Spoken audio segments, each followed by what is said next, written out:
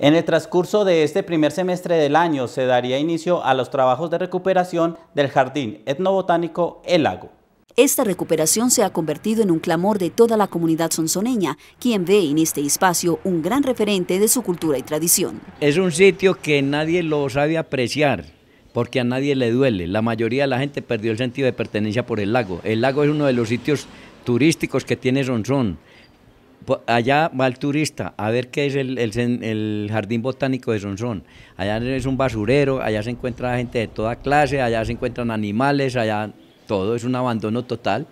Así que nosotros los sonsoneños tenemos que ponernos alerta en esta cuestión porque necesitamos este espacio, que esto nos lo dejaron nuestros eh, ancestros a todos los sonsoneños. Todos lucharon porque este lugar fuera recreación para todos nosotros y para los que vienen. Creo yo que muy pocos municipios se pueden dar el lujo de tener tan cerca un espacio verde donde está llamado a, cumplir una función de recreación, de encuentro, de disfrute de toda la gente.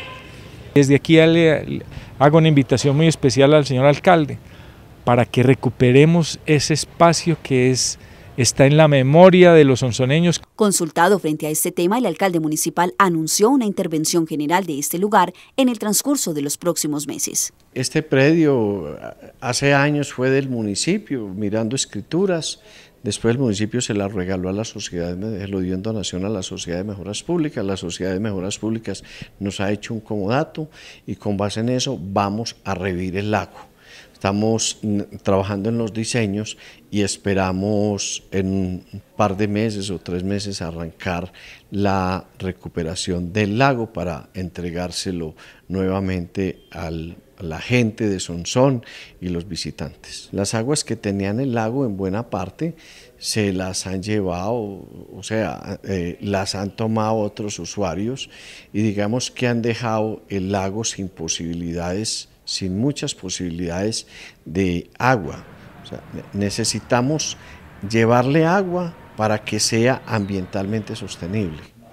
Vamos a buscar si la traemos del río Sonsón, si podemos recuperar el agua que tenía el lago desde eh, los tiempos que funcionaba y desde luego vienen, vienen otros trabajos de,